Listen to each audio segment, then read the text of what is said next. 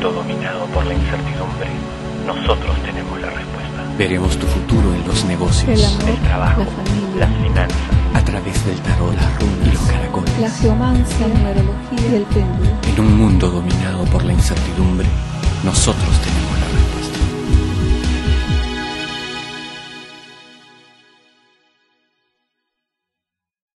Hola Aries, eres bienvenido al horóscopo semanal de arcanos.com. Recuerda Aries que si deseas una lectura de tarot privada particular solamente para ti, ingresa a nuestro sitio web arcanos.com, la dirección la ves arriba, donde veas que las tarjetas de crédito giran. Entra ahí. ¿Qué hay esta semana para ti en cuanto a dinero, finanzas, negocios?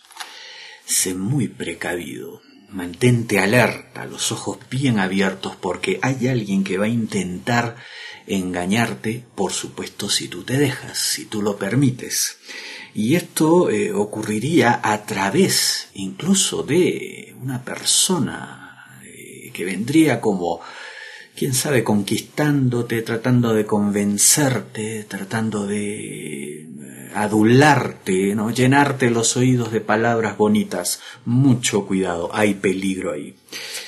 En la profesión, esta semana para ti, posibilidad de cometer un error, pero un error que, menos mal, sería advertido por una persona que te estima, que te quiere, que realmente espera lo mejor para ti.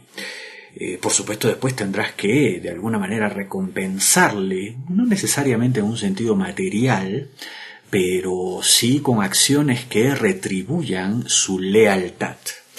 ¿Qué se ve esta semana en el amor para el hombre del signo Aries?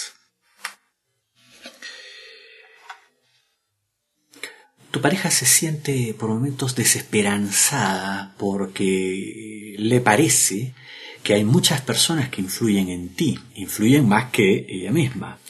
Eh, y esto puede ser cierto, porque te estás dejando ganar a veces por comentarios, opiniones diversas, eh, cada quien con una opinión eh, distinta y que pretenden de alguna manera informarte de cosas, guiarte en el camino del amor, lo que, bueno, por momentos es un despropósito, ¿no? Cada quien hace su propia senda, la sigue, cada quien tiene su propia vida, entiéndelo. Y además, cuando hablamos de pareja, hablamos de dos, no de multitud.